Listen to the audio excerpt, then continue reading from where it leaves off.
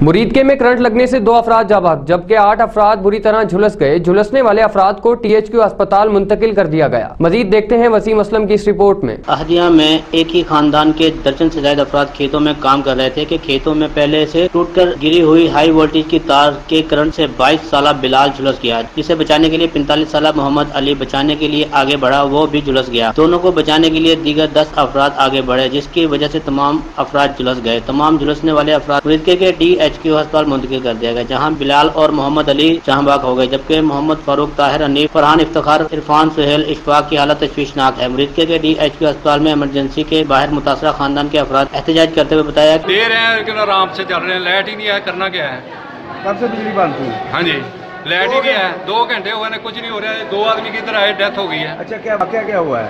Light لگی ہے تاریں ٹوٹی تھی وہ- وہ لگی زمین کون سے۔ سے گاؤں میں؟ آدیاں۔